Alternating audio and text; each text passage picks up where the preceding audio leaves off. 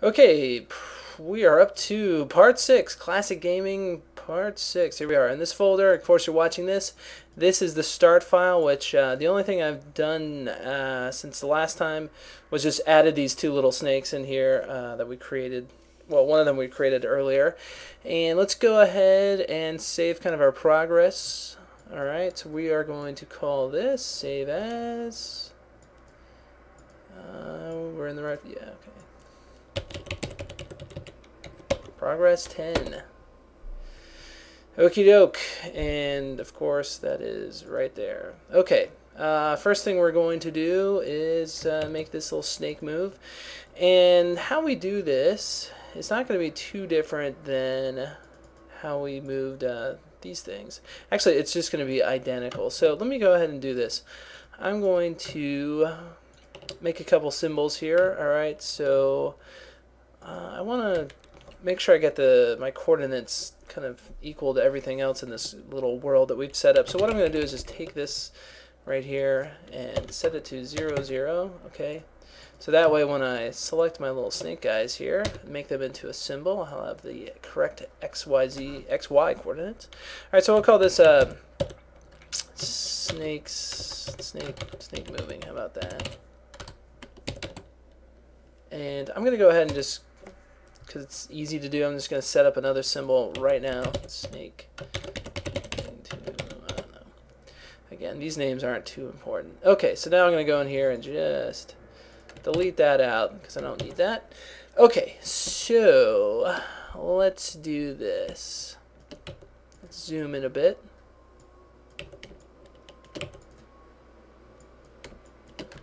here's how I'm going to set up this symbol. I have, I have, this is kind of my pose for the dead snake, alright, so I'm going to go ahead and just put that right over there. I'm going to add a few keyframes out here, well, blank, frame, or just insert frames, I should say, and I'm going to put a keyframe right there, and just take this guy out of there at that point, okay, and then I'm going to take this guy out of here, so this will be my kind of dead snake pose, alright, so let's go ahead and let's call this uh, frame label dead. All right. And now over here, uh, let's see. I've, uh, if you remember actually when we created this little snake guy, we put a couple keyframes in here for him just moving along like that. So uh, I don't need to animate him there. Good thing is, is what I can do is I can set up a keyframe right here, which I'll use to uh, just flip him the opposite direction, okay? So he'll just kind of go like this. And what I'll do is I'll set a little piece of action script up here just to stop him at that point, okay?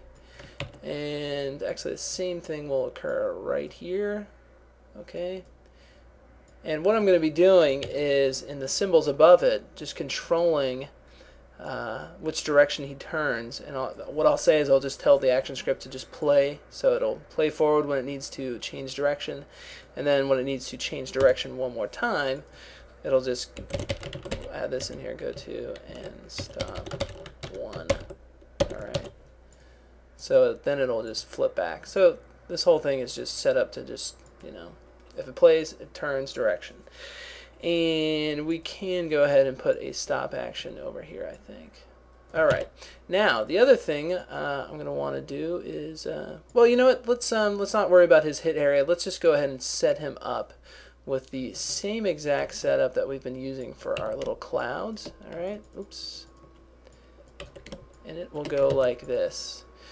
Uh, we, we definitely want to use this, oops, sorry, that's off screen.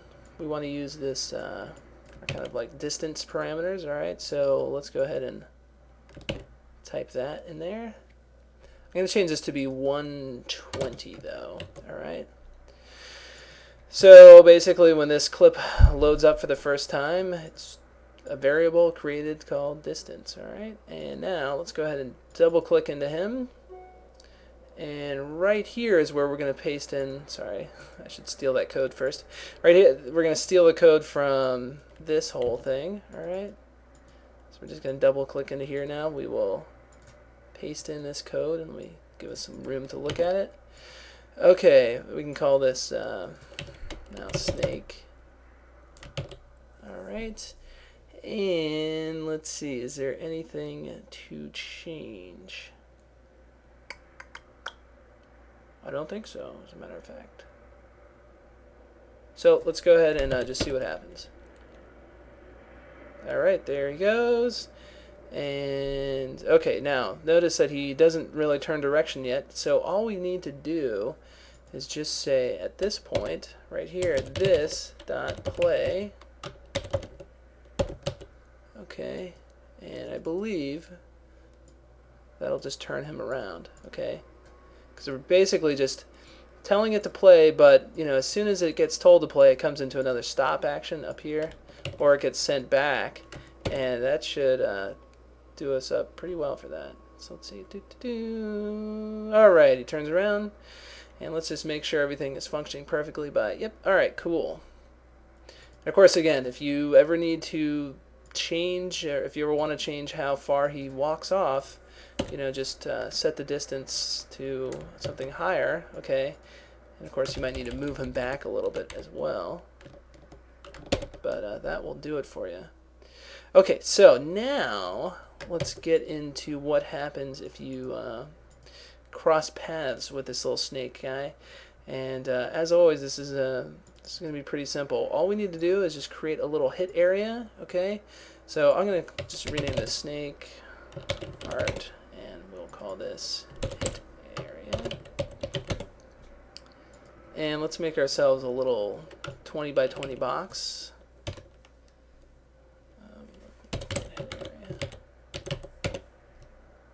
Alright, that's almost 20 by 20. Oops. Okay. So I'm just going to put this right down here. Okay. Uh-oh. Having trouble. Uh. Okay. Um, let's put his action script on there. We will, of course, make this uh, hit area invisible when we load it up. Alright, so load.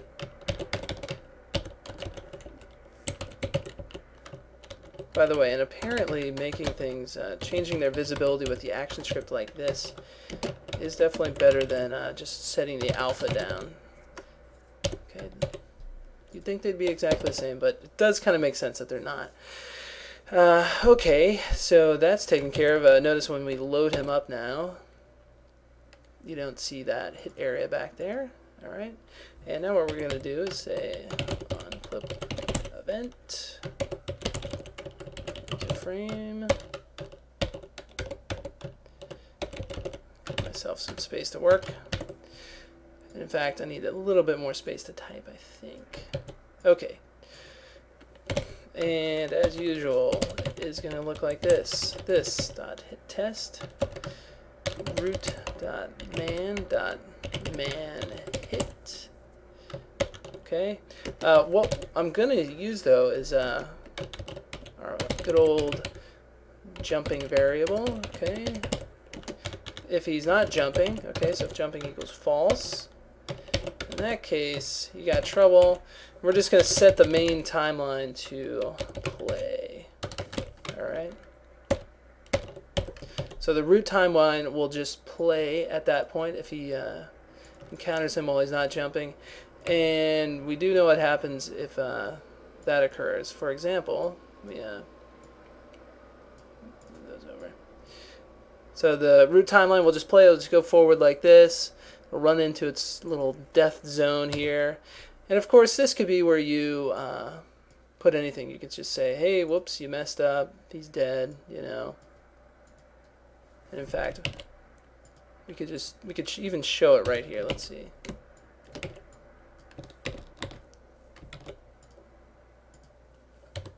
Okay.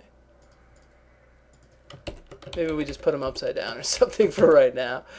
Uh, we'll know he's dead if he's upside down like that. So let's just see what happens. Alright, so if you run into him, oh, he's gone. He's a goner. Let's give us a little bit more time, though, to view that amazing animation.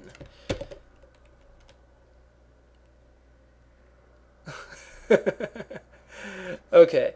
Uh, what is good about that, though, is uh, and probably what I should have done before is the same exact thing. When I uh, created this little death zone down here, it, it does make more sense for me to actually just say root play, alright? And that way, this will just play forward. It'll run into, uh, you know, whatever happens here, but then this is actually what controls where you get sent back to. So, for example, if we had this whole thing uh, just kind of, for example, over here like this, if you'd made it to a second level, for example, anything over here, you know, anything on here is just going to say, hey, root dot play, go forward, and then it'll go into this area, and this right here could be, you know, uh, level two, for example, it would try to go there. All right, so that's how you would create a whole nother level and not have to really mess with any of the other action script that already exists. Again, the kind of uh, the thing we want to do here is make it so that all these things function with you know when the end of the at the end of this tutorial everything's going to work perfectly no matter where we put it no matter what level it's on. It's just going to be pretty easy to uh, copy and paste stuff around. So anyway let's get back to the task at hand. We definitely uh, just in testing that out we realized that that works. So let's make it uh, let's make this snake vulnerable now. So all we have to do, I'm just going to lock this layer so I don't select it. I've got this, uh, the hit area selected. It is pretty simple now to just say uh, global jet jump, uh, whatever, true. and in that case, we're going to say parent dot go to and stop dead. All right. And, um, well, you'll see what happens. How about that? So if I jump on him, boom. Oops. You know what I forgot to do? At this point, when he dies, I need to get rid of that hit area. Okay? So take a look at him now. Alright, so uh, that works, but the uh, dead snake keeps moving there. Alright? So what we want to do, and in fact he even somehow manages to come back to life, but uh, what we want to do is make it so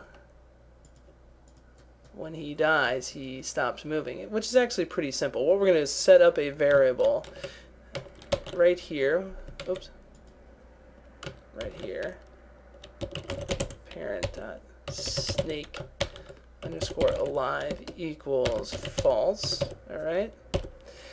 And that will control in a second uh, whether or not he moves. So anyway, snake alive, this is what we have to remember. We're setting up a variable called that, and we want to set it up within the parent up here, okay? We are now, oops, we're now uh, one symbol up the hierarchy, and a good place to uh, kind of initiate this uh, variable will be when it gets loaded up. Okay, so we'll say snake alive equals true. All right, and let's put a little note here. Controls uh, whether or not snake is alive for moving purposes. How about that? Okay, and so now all we have to do is just say if snake underscore alive equals true, then we get to do everything as normal. Uh, obviously, if this equals false, uh, then none of that stuff will occur. So let's see. Alright, so there he is. And kind of the cool thing about this is, uh, hey, look at that. When we return over here, he's still there. So we can kind of run off as much as we want, at least I believe. And uh, if I'd killed him, let's see. Alright, you die now. Okay. So I can go crazy. I can make it over to this other little platform, this other segment. And hopefully when I return, that guy is still there. And there he is. Okay, so uh, amazingly enough, that works for us. All right, now that we have that running, let's go ahead and just save our progress on it because uh, we definitely made some uh, good steps there. So we will go save as.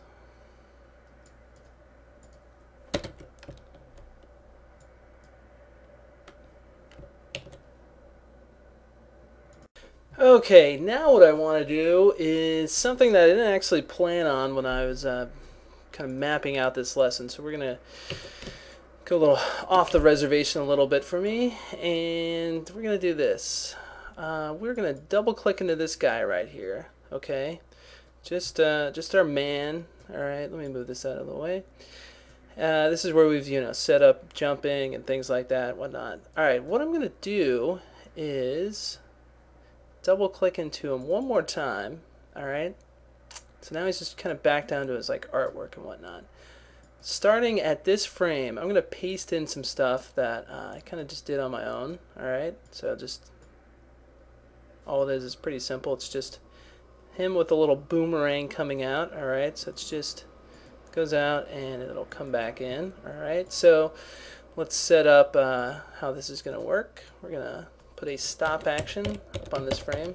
And it always kind of drives me nuts when uh, I have just regular artwork like that on a layer with other symbols. So I'm just going to call this up and still. How about that?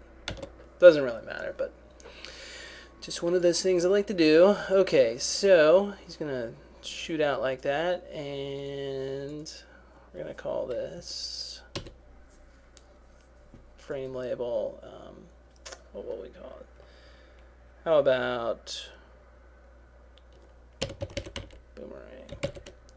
Although now that I'm thinking about it, I don't even I don't even need to do that. It's just gonna go out. Okay. And this is just a stop action. Alright, so check this out. What we're going to do is uh, set him up so that depending on the direction he's facing, he can uh, shoot that little boomerang out. And uh, let's see, we need to give him a instance name right here because at this point he doesn't have one. He needs, uh, how about man, let's call man 2 at that point, alright? And remember, right up here on the main timeline, he's called man, okay? So down here, he'll be man 2, and uh, if we point if we make reference to that, we can tell him what to do in here, and which will be kind of simple actually. Let's do this. I'm going to scoot him off to the side, bring our uh, action script in here. Okay, and right now, of course, uh, the action script I'm looking at is all that stuff that's, uh, you know, if key is down, key dot right, all those things. So we're going to add one more to our big pile of stuff here. Uh, I'm going to say trigger the guy's boomerang. Okay. And all we need to do is we're just going to copy this, okay, paste it down here. I'm going to change this to space. I'll make the space bar be uh, what makes his uh, boomerang go forward. And all we have to do here is say, actually going to steal this same little bit right here. I, am going to only let him uh, shoot his boomerang out if he's on solid ground, okay.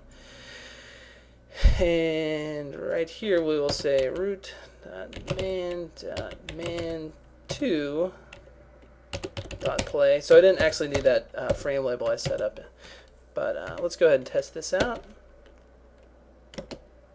Alright, cool. Ooh, let's get out of there. Alright, now, you guys might have noticed that if you press to the uh, left, alright, he just kind of goes right back to being uh, forward again. Okay, what we're going to do is uh, change that. It's about time, right? I'm going to set up a variable up here, okay, right at the beginning of this thing. So if key is down, uh, you know, the right key, we are going to make it so that a new variable shows up called global dot facing direction. Again, I love these uh, kind of obvious ones. I'm just going to make it be uh, negative 1, okay? Actually, I'll make it 1. How about that? Alright. And then the same thing down here. I'll just call it, this time, negative 1. And just for notes on this, we'll say uh, monitor, well, let's say variable to monitor which direction it's facing. You know what, let's even say, oops. We'll even go as far as to say negative 1, oops, negative 1 equals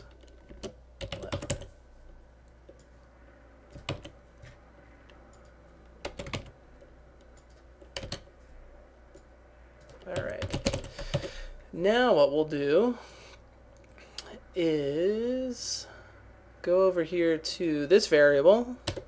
I mean, not variable, but uh, our listener event, okay? Excuse me. And I'll set this up so that if global dot facing direction equals 1, okay, that occurs, then this is fine. This will just uh, be like it was before. But this time, if it equals negative 1, then we're going to tell our buddy here to go to and stop 2. Alright? And so that means doo -doo -doo, at this frame right here, okay, we're going to just flip them about around like that. Okay? And by doing so, I think we are set up. So let's see. All right, see, now he's working that way. Now if I hit the boomerang, boom, boom, like that. All right, makes sense. Because this whole this whole symbol here that contains all this stuff is flipped around as well. All right. So let's just look at it one more time. And obviously, we're going to make it so that he can shoot his boomerang at that guy. Okay, so um, one thing though that I noticed I had set up before was uh, all of these things right here where it says uh, go to and play, jumping to, these could actually be switched to stop. I think it's probably better if they are.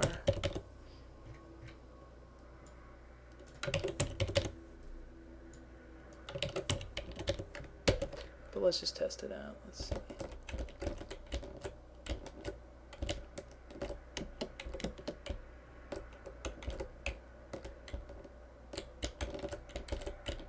You won't, you probably won't see much of a difference, but uh, when I was testing things around, I uh, I did kind of find a reason for them to be uh, set properly like that. Okay, so anyway, uh, let's go uh, deal some pain onto this snake uh, one more time. Oh, actually, you know what we need to do? We need to go back into his little boomerang action. So let's get back up into here. And let's put a little hit area on this guy. All right. And I'm going to make it separate than the actual artwork for the boomerang. I'm going to make it a little bit smaller.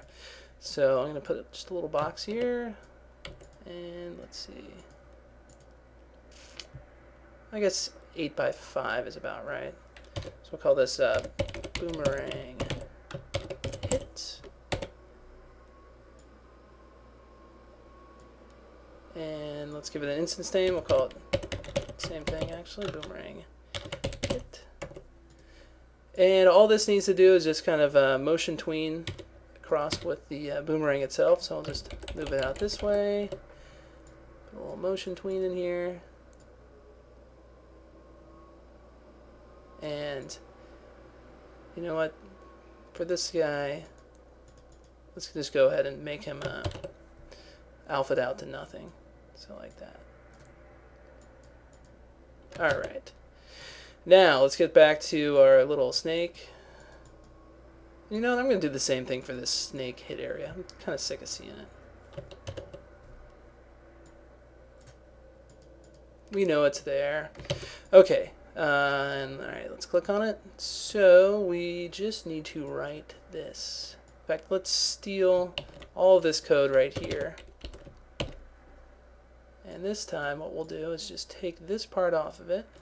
Okay, and we will call this man dot man2 dot boomerang. Oops, spelled it wrong.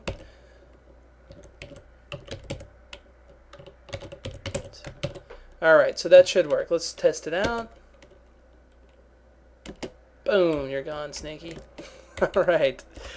Ah, good. Things are working out exactly as I planned. Okay, so uh, that's pretty cool. Let's do, let's see it one more time. Actually, let's try to just for experimental reasons. Let's try to hit him from the opposite side. How about that? So bang, nice.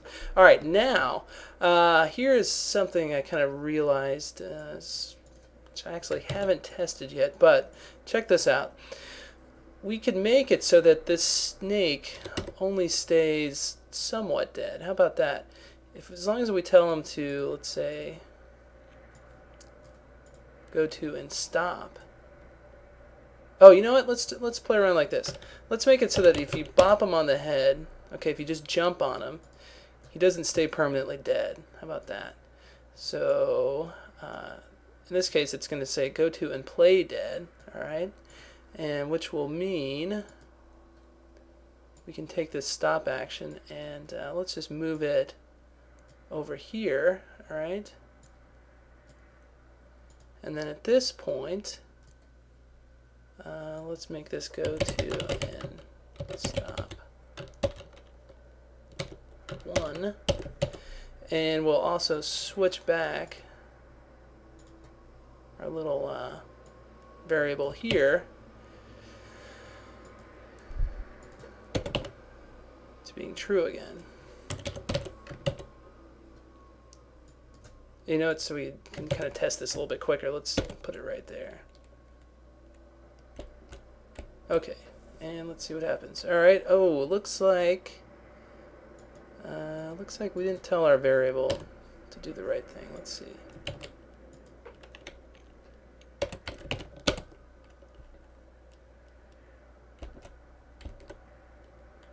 Hmm, let's see what happens if we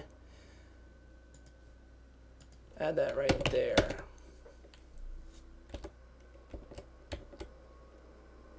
Hmm. Oh, you know what? Uh, I'm just being stupid. Actually, let's take this off. Okay, and let's switch back over to here. I think that's all we need to do to make this work because this is always a little bit tricky, but when you set up a variable, okay, like I did here, uh, the variable kind of in a sense exists within this kind of uh, timeline, all right? So for me to uh, make mention of it on the frame, okay, uh, that would actually, I don't need to say specify parent or anything like that. So uh, let's give it a shot and see what happens. Oops, uh, I didn't, I wasn't actually jumping on him at that point. Let's see. All right, hold on. Okay, there we go. Uh, and now he gets right back up again. All right, so that so that actually works.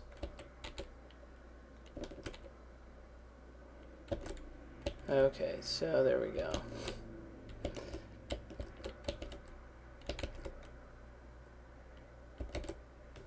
All right, so there, that's all good and well.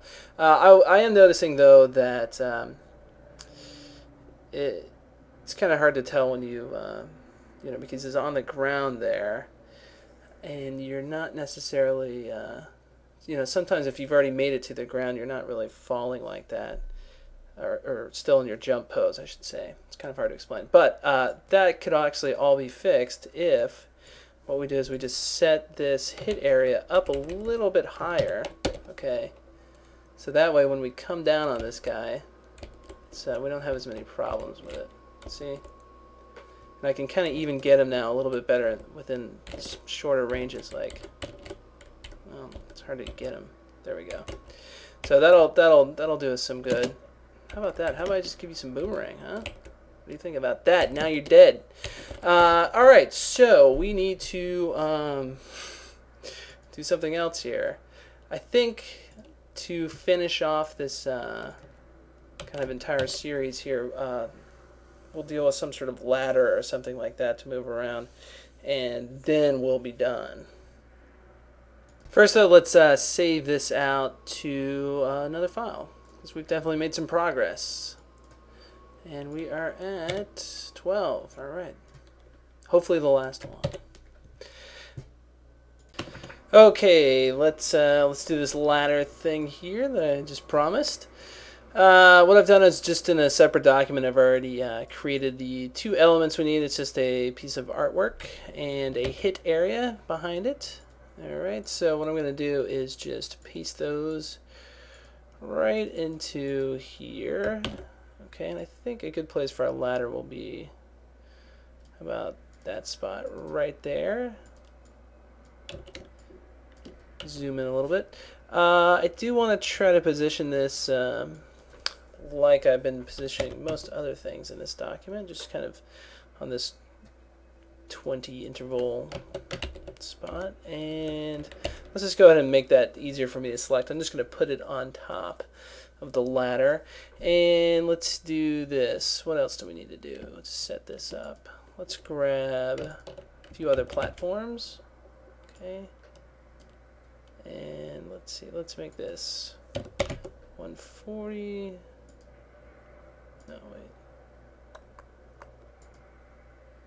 Actually, what I'm going to do is take that out of there, okay, and swap this in. And the reason being is if you remember with these bricks, this little hit area, this landing zone is kind of built into the whole thing. Uh, what I'm actually going to be setting up is I'm going to be making it so uh, when you enter into this little ladder realm here, uh, you don't actually want to have a landing zone, okay, because that kind of locks you down there. And I just realized this ladder is not really set up for it to be exactly, uh, you know, on the 20 increment stage. So uh, let's see, what else we're going to put here? Just uh, let's just do a few more of these guys right here.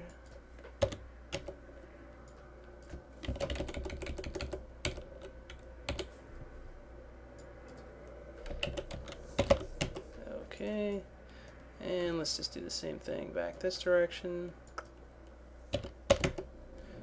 Okay, and uh, similarly, we don't want to put one of those uh, landing zones up there either. Okay, so uh, what else? Oh, you know what? I do need to go and steal a piece of artwork that I've already made. Let's see, where is that at? Yes, here it is.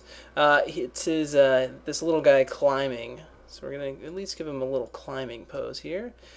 So I've just pasted this. Well, I'm about to paste it in to right there he is. Okay. It's not too fancy, but it'll work. And I'm actually going to put him off, off uh, center a little bit. He's going to be up just a tad. Okay, and let's delete this out. And we're going to call this frame climbing.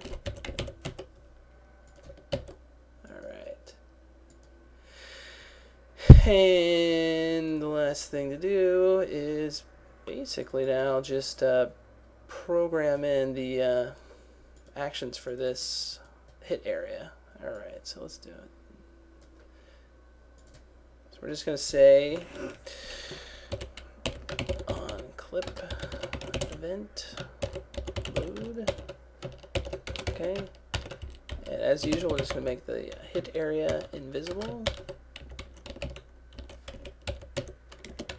By the way, the reason I'm not just doing this directly onto the uh, ladder artwork itself is because it's going to help us if uh, we have these like little kind of spaces above and below the actual ladder to uh, kind of, uh, I guess, relinquish the hit area that we're about to set up here.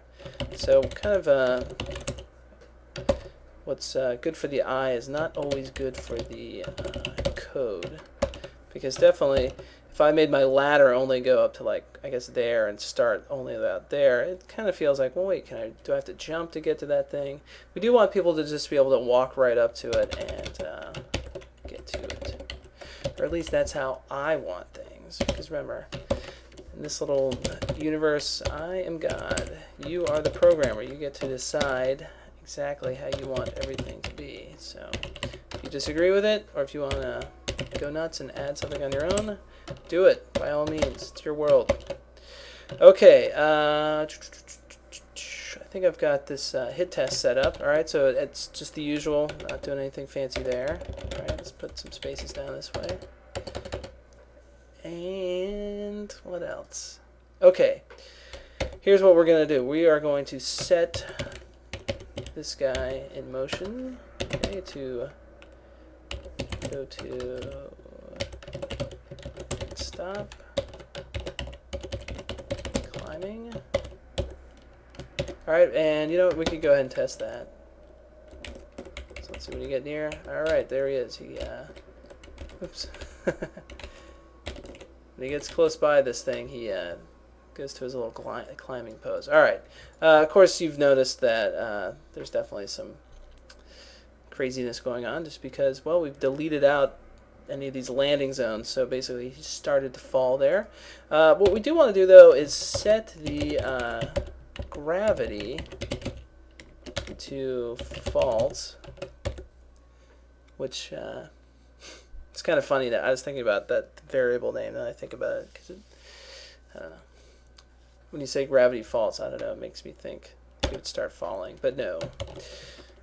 It Just means that we're not testing for gravity.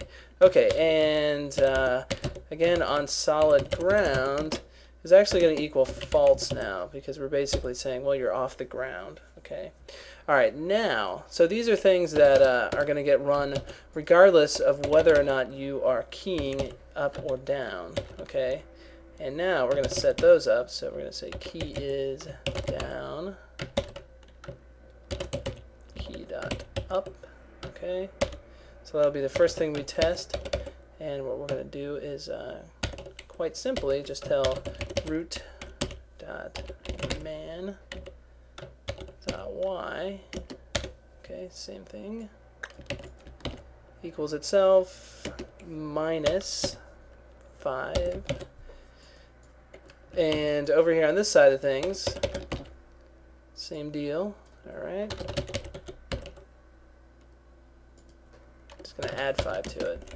So we're not, he's not going up super quick. It's just, uh, and of course you can change those numbers. They'll make them go up and down uh, slower accordingly. And uh, let's give this a shot and just see what happens. We might have to adjust it a little bit. Okay, so let's see. All right, goes up and uh,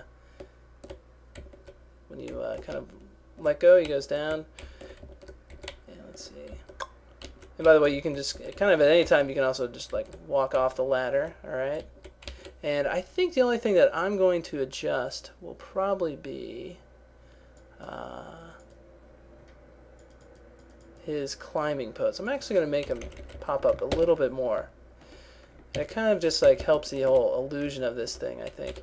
Well, you got to kind of make sure you're squarely on this thing and you're not, uh, you're like right in the middle of it, okay? Otherwise, you, you stand the possibility of uh, being able to jump, okay? And, uh, alright, so you can kind of see that there's few kinks, I guess, but, uh, alright, so this kind of comes on, you get, whoops, alright, there he is. And, mm. What's kind of funny, though, too, is that cloud. You know what? I need to get that out of the way. That's actually been bothering me quite a bit. Okay, you are going to move up in the world. Now let's put this guy at 40. Okay, so now we should have no cloud interference. Alright, so when you roll, you know, move over this guy like that, go down, and there we go. Alright, uh, one thing to kind of figure out though is why was he jumping? Let's take a look at his code. Okay. Well, see, it's kind of weird because we are saying if uh, if you're if you're only if you're on solid ground equaling true, can you uh, initiate a jump? And yet, let's see. Let's look at this again.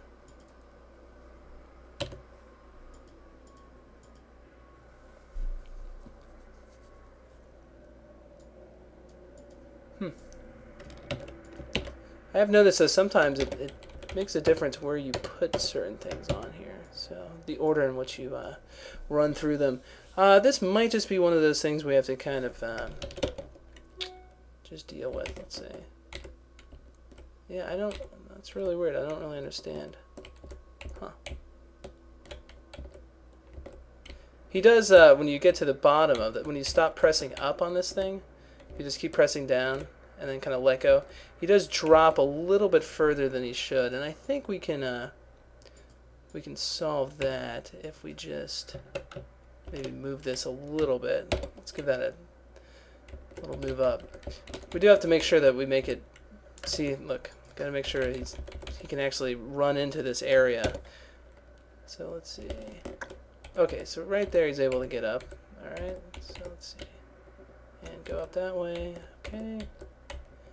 Get back down. Hmm. Oh, well, you know what? That actually solved two problems for us, I think. Because, uh... Oh, I got it. I got it. I got it. I got it. Here we go. Here we go. This needs to be just a little bit skinnier. Okay? Because I think what's happening is he's touching both the solid ground right here and, uh, and this ladder. So let's try this. Let's make this thing pretty skinny. Okay, yeah. Alright, that'll work.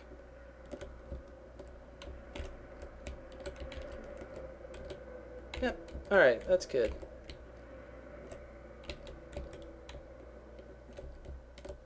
Cool. Alright. You know what, he does drop a little bit too low when he gets off this thing, but hey, you know what, I don't even care, that's fine. Cool with me.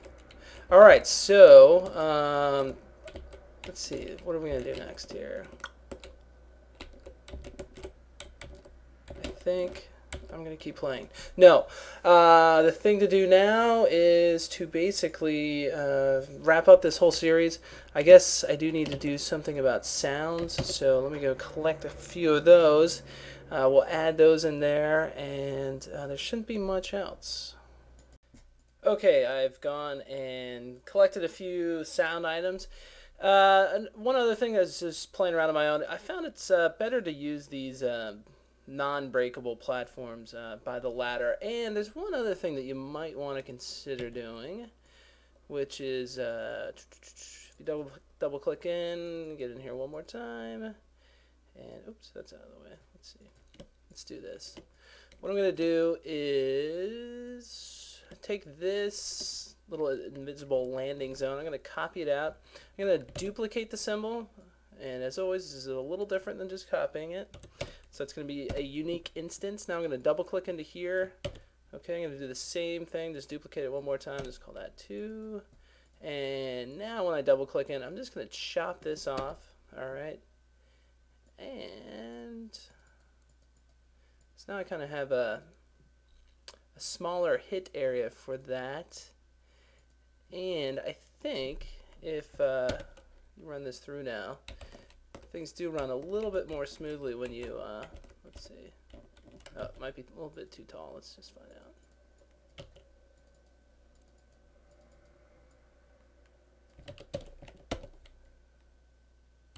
When the character come back, comes back down, it, uh, oops, okay, there we go. It's a little bit easier on it. Unfortunately, you do have to be kind of like right centered right in the middle of this ladder to, uh, get this guy to uh, run through perfectly. But uh, yeah, you can tell now it's uh, it's a little bit better. And you could probably also see. I actually haven't tried this yet, but I think. Oops, no, don't want to do that. If you take off those segments and maybe put this one over here, that might work kind of nice too. Let's see. Yeah. All right. Okay, so you know what? For all I really know, you could probably use these these little platforms, uh, these landing zones throughout the entire document. It might might work just as well. I don't know. I'll leave it up to you all to experiment a little bit. But anyway, let's do this. Uh, let's go ahead and save this out. We'll go to lucky number 13. Okay, so... All right, the 13th version of this. Could be the last. All right, what I've done is, like I was saying a minute ago, I've collected some sounds, and I've actually already imported them into the library. If you ever need to import audio, just go to uh, import, import to library. I think that's the best way to do it. And what will come up will be uh, your stuff in here. Uh, you can view by kind actually, or can you type? Yeah. So we'll get these right up all at the top here. And first thing we're going to do is uh, change their linkage properties. So if you right click on these guys or if you just have it selected and you go over here to linkage, you can uh, set that. Uh, this is kind of like, in a sense, uh, what we've been doing with every single movie clip where we've given it an instance name uh, so we could kind of communicate with it with ActionScript. Uh, this is similar with uh, audio. We give it an identifier. what you want to do is click this right here and just both these settings are perfect all right and we'll do this by default it'll it'll uh, just put in the name of the audio uh, if you just want to keep it simple just uh, I don't know I usually give it something like that just the first part of the audio name okay so that'll be its uh, again you can think of it as an instance name almost but it's to, to be more correct linkage identifier. But uh, here we go. We'll call this that. Mm.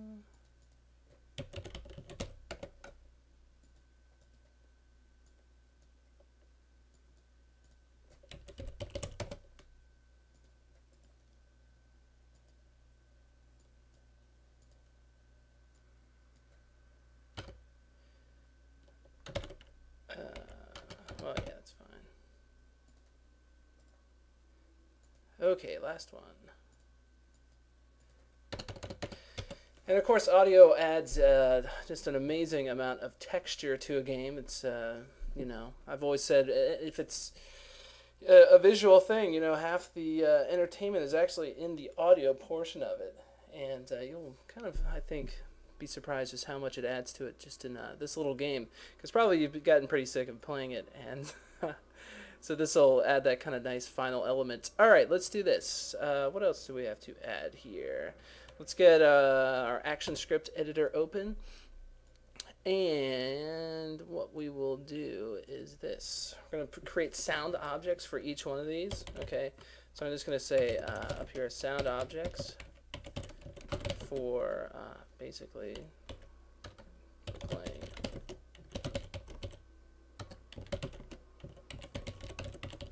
Oh, and one thing before I, I forget, because I probably will forget if I don't do it right now. In your publish settings, uh, do this. Set, click this on, all right? Right now, each one of these uh, audio files is a uh, IFF file, okay? And those are a little bit heftier uh, bandwidth-wise, so uh, just to trim down the audio, if you go to override sound settings, it'll convert each one of them to an MP3 file. All right so we'll do this. And you know what? You can also actually, if you ever go into uh, properties, you could go like this too. And, and actually, that might be better since uh, since we are playing them we're uh, through the action script. This might be uh, more what we want to do. Now that I think about it. And I've kind of found that uh, MP3 files run a little bit smoother in uh, Flash than uh, some other audio types. Like I've noticed uh, WAV files will sometimes crash it a little bit if you pile too many on there at once. Uh, so we'll just cover all of our bases here and just go through each one. Okay, so that's ready. All right, now let's uh, type in. So what we kind of do is give each one of these a variable name, all right, which will essentially trigger the sound, all right. And this is, for each one of these we're going to have to do this, but it'll kind of be a copy and paste job momentarily. All right, I'm going to call this variable jump underscore sound, all right. And now what I'm doing is attaching the uh, linkage name that we created in the library, all right. So let's just uh, look at both of these real quick. Alright, so here was my, let's get use count out of the way. Can I? I guess not. Okay, well, so there it is. That's the uh, linkage name, all right, and that is what goes right there, okay. And this was just something I, you know, just created up, cre- uh, named on the spot. And all right, that's ready to go. Uh, let's go ahead and set up. Uh, well, no, you know, we'll use that. Why not? So to use it, let's go ahead and find our jump meter. This guy right here. So on this uh, first frame, when he begins jumping, I've uh, oh actually I forgot to delete that out. I've actually already added it. So we'll pretend I didn't. All right, add jump and here it is. What you want to do is go root.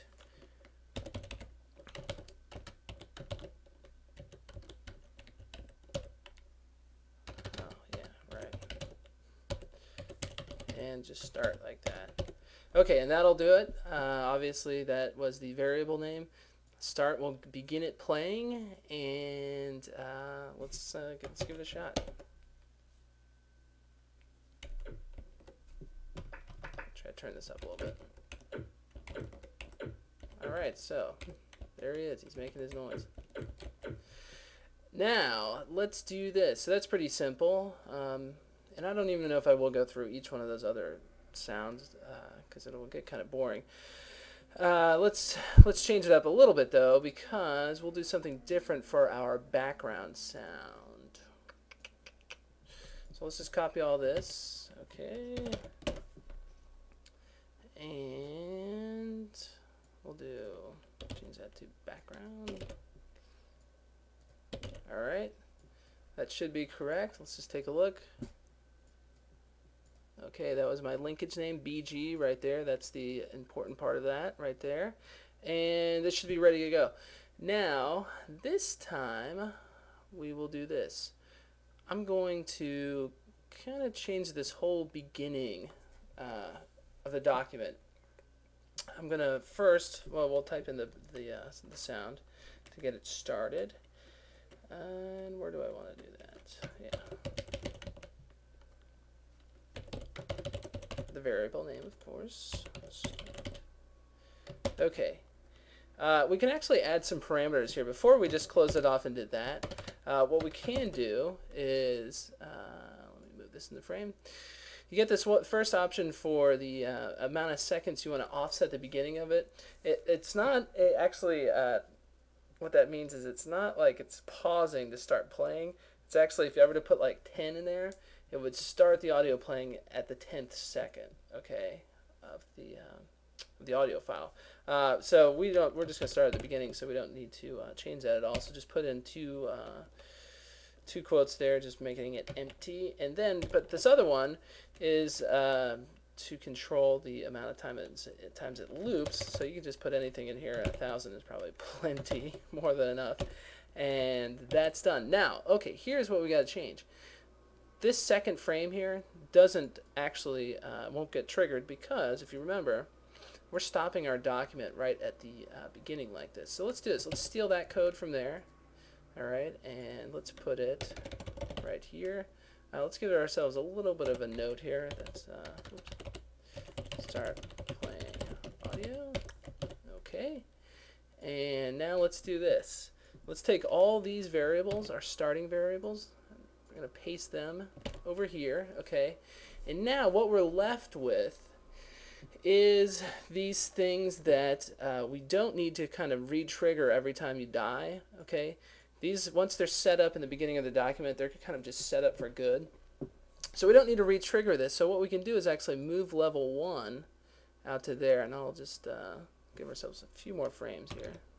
Okay, so now when you die, if you remember, you get kind of sent over here, all right, and then this loops back to level one, and it uh, won't go through this stuff again. Not that it would really hurt it to do that, but it's just unnecessary.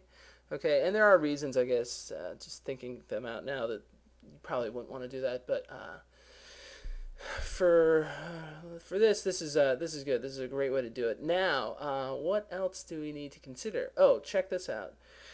This audio file will get restarted each time we die. All right, but it won't get stopped. So if you kind of listen to this now. Uh, it will uh, replay over itself. Oops. How come that didn't uh, restart? Oh, you know what? My fault. The uh, the audio file has a little bit of uh, some uh, sound uh, at the end of it. I forgot to trim that out. Well, anyway, uh, I'll fix that in a sec. But if you notice, when I uh, when I die here, it's kind of playing over and over again on itself, which will get kind of really annoying the more I play that. So what we need to do is when you die, stop that audio. And that's really simple. We just go to here, and we'll say stop. And of course, this would be a good time for you to add in uh, a different bit of audio that would maybe be like wah wah wah, you know, like the typical death music. Uh, and so that'll be good. So now, uh, well, of course, stop and then restart. And you know, let me even just give us a little bit more time in here so we can kind of experience that pause. So there we go. And like I said, the the audio is looping. I left myself uh, probably two seconds of dead air at the end of that uh, file. Oops. Okay, uh, let's do this though. Let's take a look at some of the other audio. Okay, so this little uh, this eep noise in here was uh, something I intended for when the guy uh, gets hit by the snake. So let's do this. We will just go over here. Oh, actually, I need to bring that back. And let's just copy this out.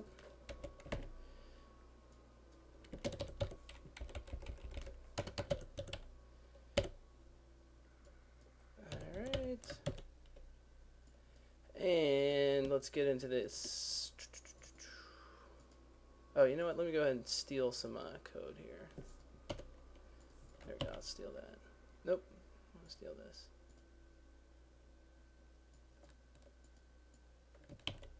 Actually, that was pointless. it's one line. Uh, anyway. Okay, let's get into this guy. Oh, by the way, I did add another snake over here, and uh, this is just me fooling around my own time. And I added another one going the opposite direction. Just duplicated it, in case you're wondering where they came from. Okay, so where is this hit test to kill you? Alright, it's right here. Now, let's do this. So we'll add that in there. Eep.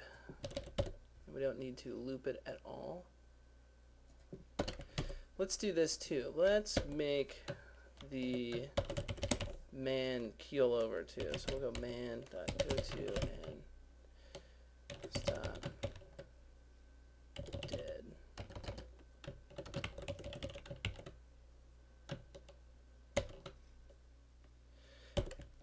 And that'll be a frame label we need to create now. So we'll click in here. We'll just turn him on his side. Let's just take this guy and let's see. What's a good one?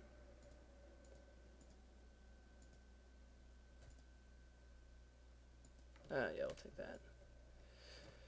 Okay, let's just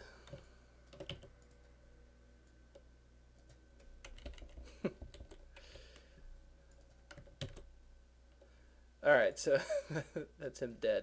Now, uh, you'll notice that if we were to publish this, let's do it.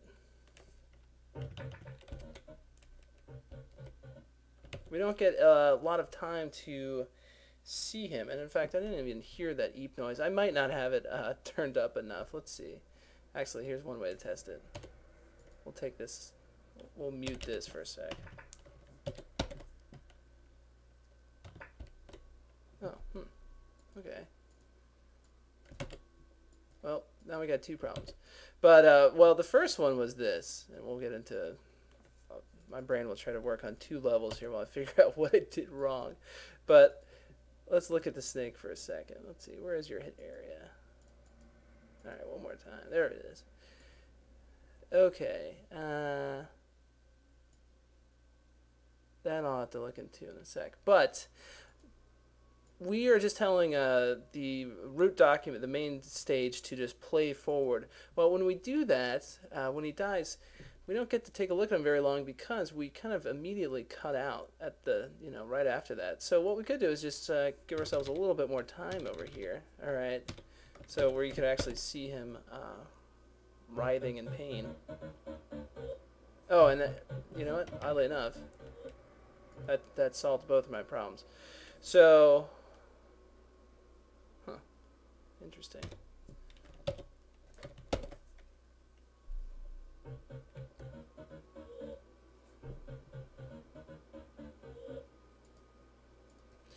Oh, okay. Check this out. Uh, it looks like what was going on there is the snake. Of course, he kept walking th- over that guy. All right, so he kept, he basically kept encountering him over and over again, you know, via this hit test. All right, and uh, so what was happening is it was it was it kept restarting this sound right here, uh, and uh, so what we kind of want to do is uh, keep that from happening. We just want it to occur once. And this is actually easier than you'd think because since we're telling our little root guy, our man, to go to and stop, you know, this frame label called dead, what we could do is actually right here take away his hit area. All right, so that no longer exists, and uh, that can't be triggered now. So now let's see what happens. And it does work. It, my audio is uh, it's kind of hard to hear the uh, what I recorded for that sound over the background music. So let's uh, let me just tune that out, and I'll try to turn this up. Okay, that was not me making that noise. That was the game. Uh, by the way, I, I, did actually pause this and uh, fix the uh, the background sound. Which, you know what? I guess since we're on it, I, I'm going to try to see if this code works. Let's see. I think I can set this to be 50. Uh, I think somehow I got louder. See what 10 does. I might have to put that in quotes. I can't even remember that. I'm just... Hmm. Well, I will figure that out momentarily, but uh, it's funny. Uh, anyway, let's uh, let's do this. Let's figure out what the uh, what else we should put in here, and then I'll worry about the volume. Uh, splashing sound. Okay, well uh, that's an easy one. Should be kind of obvious where that will go.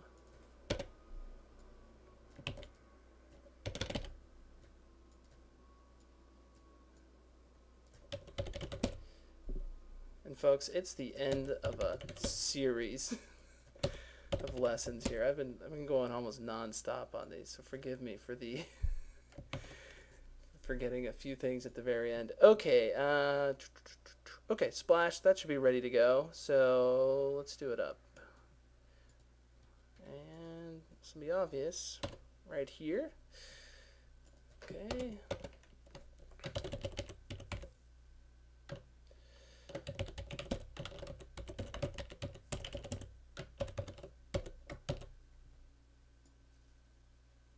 These would be actually good places to just stop the uh, background audio as well. So, you know, let's try that. That way we can kind of hear it a little bit better. So we'll stop the background audio first, and then...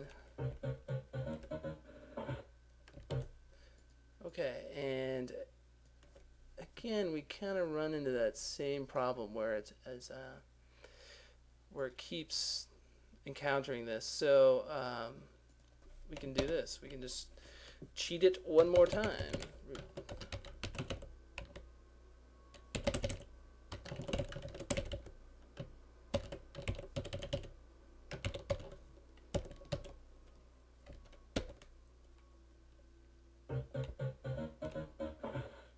Okay, yeah, it works quite well.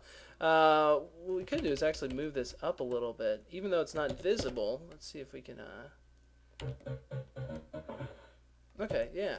And, and obviously, uh, you know, you could make a specific frame label for him splashing into the water. Uh, nothing wrong with that. So uh, let's do this. We will try to get one more in here. Copy that. And this one will be for uh, kind of one shooting noise I have.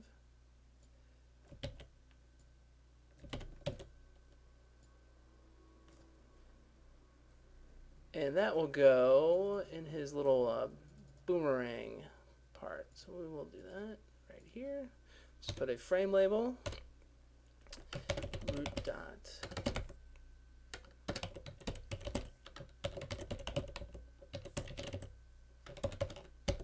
Okay, hopefully this will be one that works well for this.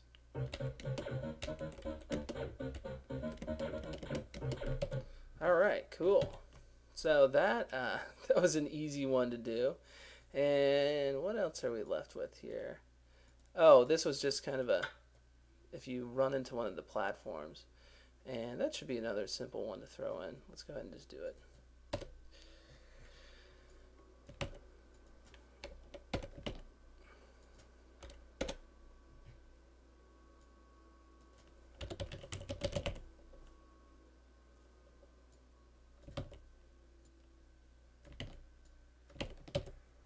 Alright, so an easy place to put this would be, let's say, well for the, the bricks we could just add it right here. That's a nice place to do it.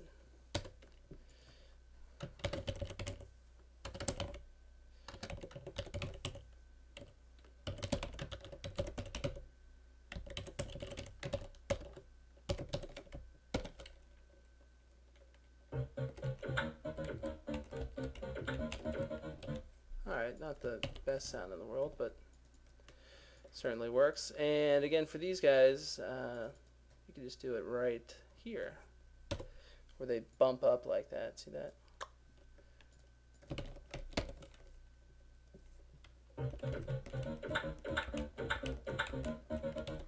Okay, and uh, let's figure out what the deal with that volume is. I definitely feel like the uh, the platform noise is a little loud too. All right, I'm gonna take one more stab at this. Let's go uh, root dot.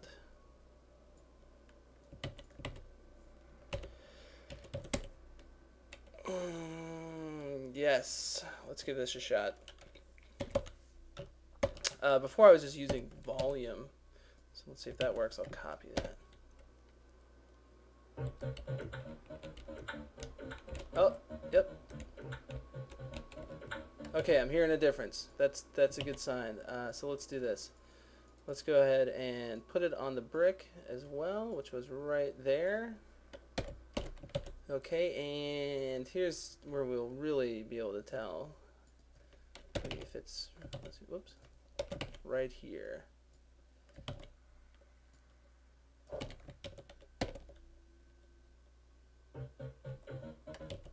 Let's set it down to 10. Let's see what happens. Oh yeah, there it is. You can barely even hear the audio now. All right, good, good stuff. Let's see.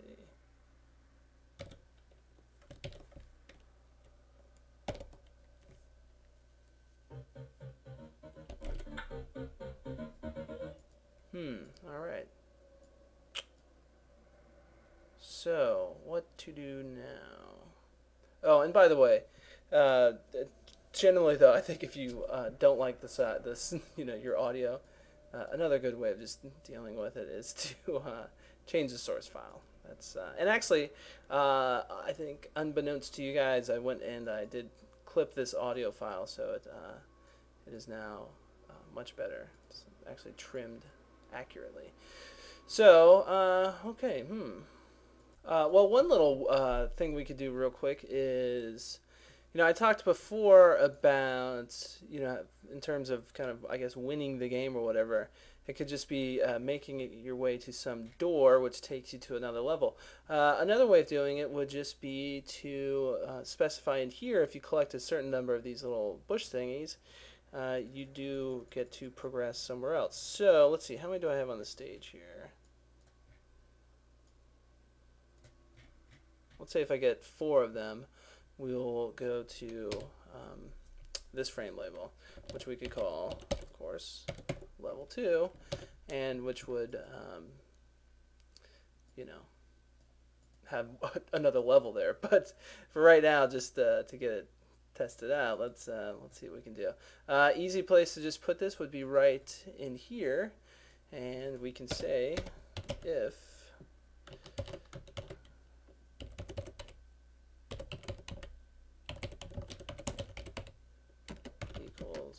let's say four, okay.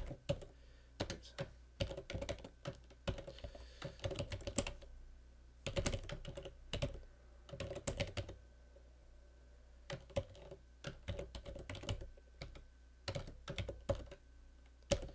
All right, uh, I believe that looks correct. So let's give it a shot. So I got one. Turn the volume down.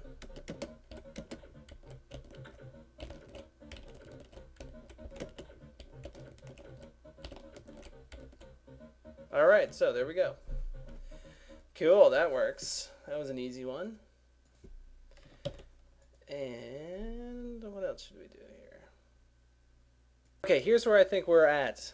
We are going to call uh, an end to most of this. What I'm going to do is uh, include this kind of finished uh, file right in here, okay?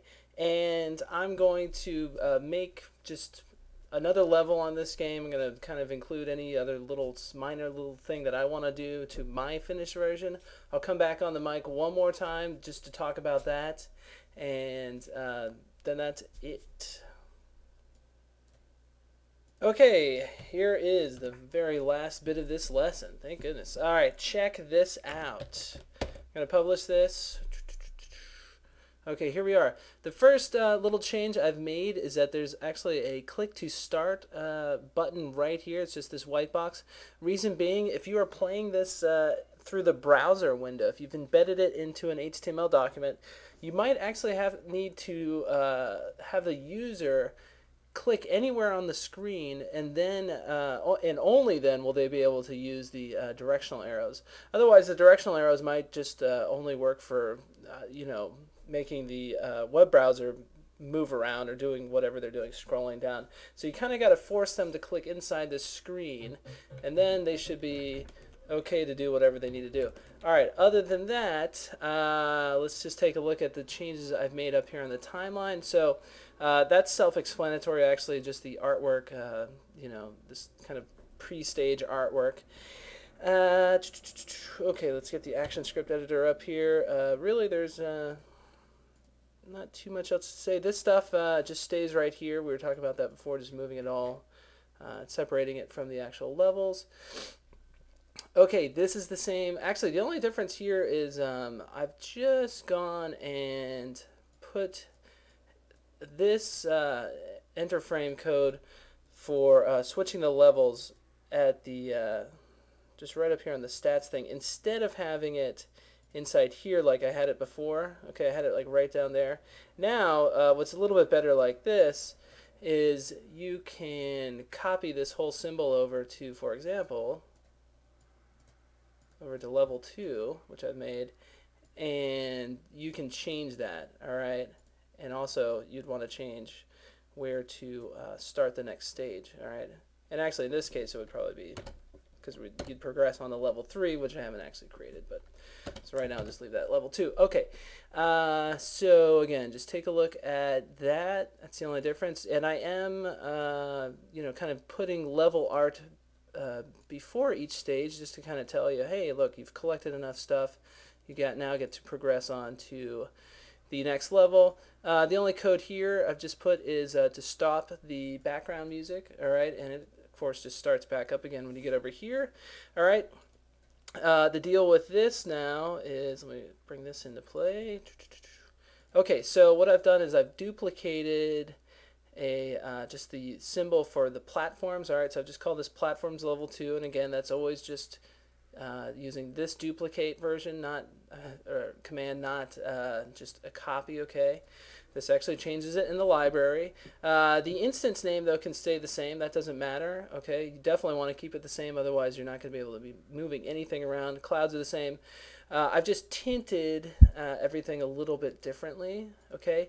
And now, when you get into here, of course, when we're in platforms level 2, you are going to want to duplicate out everything uh, within here as well. Although, before you do that, what you probably need, want to do is to go and uh, we talked about this kind of ad nauseum in this lesson is to make sure before you duplicate that you just put this little symbol up here at uh, 0, 0. Okay, so that way it locks the coordinates in. All right. So, um, and again, nothing really changed here. In fact, uh, I, these little segments of the platforms still have the same uh, instance name, even though they have a little bit of a na different name in the library. All right, and otherwise, uh, you know, it's it's really that's all you got to do to just uh, create an entirely new level. All right. Uh, one thing I have gotten rid of is before, if you remember, I had some frame label here called like Death Zone One, whatever. You don't need those, okay? And actually take them out because when you're just kind of copying everything, when you do like this, okay, and, and, copy it all, copy all frames over here to this part, if you have duplicate frame labels, all right, which I had when I originally copied it over, that was a problem. They don't like that, all right. And just for a little brain buster for you guys, uh, check this out. It's actually pretty self-explanatory, but I'm not going to explain it in this lesson because just as a little challenge to y'all, I think it'll be just interesting, more interesting if you just uh, go through it on your own and take a look at it. Check this out. I'm going to just go ahead and skip so that uh, I can just get right to level 2 when I click right here. Let me uh, let me kill this snake though first. Okay, he's out of the way. Now check this out. When I run into this thing, my guy, he kind of like shoots back a little bit, and then you can you know move forward again. Uh, this is a box that you can jump on, all right, but and again over here on this side, same kind of deal. He's just kind of stuck on there. He can't get through it. So and it also kind of makes it seem like the uh, the ground underneath gets a little icy almost. So you could probably you know also use that to your advantage. So uh, I will show you though, of course, the uh, the code to pick through on that is right. Have to zoom in to get. Right there. So here you go. Play these numbers through in your head, and they will make sense. It's uh, kind of uses a few things that we set up before. Okay, and notice there are some negative numbers in here, and it's pretty self-explanatory. But again, I'm not going to get it into it in this lesson. And uh, on that note, uh, let me say this: these tutorials are tutorials. They're not templates. This is not um, you know, I'm not selling a game here. I'm selling just the teaching materials, okay? So if you find a bug in this, it's on your own to fix it. Don't email me and say, well, you know, uh, this part, you know, you can. Well, I, I honestly, I don't care. This is uh, this is to teach you guys how to make games. So if you find something that you don't like, uh, don't email me. Fix it. You're on your own with these things. And uh, you know, I, I don't want to sound cruel or anything, but you know, the guy who is is talking into this microphone right now is not the guy a month from now because I I'm gonna forget all this stuff in my dreams tonight. I I really it's it's I mean like if you've just watched this, you probably know more about how to program all this stuff than I will a few months from now. It just I forget it right away, and it's you know it's a learning experience, and and these games are kind of or these tutorials are the accumulation of maybe I'd say 40 to 60 hours worth of uh, studying up before I teach it. So I know sometimes it kind of seems like I teach from the hip, but you know I have plenty of cheat sheets on many other monitors that I look at, uh, and I just kind of progress through those. So uh, you know there's a lot of work that goes into it. So if you ask me uh, like what might seem like a simple question, you know, well how do I now do this? I, I really I can't even begin to answer it without picking through you know half hour to an hour worth of code and, and you know researching back into what I did. So again, these are about teaching you guys how to do stuff. So anyway, uh, my apologies if you've already sent an email that's like, well, do I, you know, but uh, that's okay. And in most cases, I'll just say, I don't know, and that's not a big deal. but anyway, just a little uh, warning at the end. So uh, anyway, it, this has been an enjoyable one. It's probably going to be one of my favorite tutorials in the end to uh, recommend to people. It's uh, I, love game making, and uh, I hope this sets many of you onto some sort of path, possibly even toward a career into uh, making games on your own. And uh, definitely, there have been uh, Flash games that have uh, progressed into uh, the world of console games. And a site like Newgrounds.com has a couple examples of, I think, well, maybe one, but where they uh, a game got so popular there on that website that it eventually became a PS2 game. So, hey, there's hope for all of us. Alrighty, that's it. I'm signing off, and good night.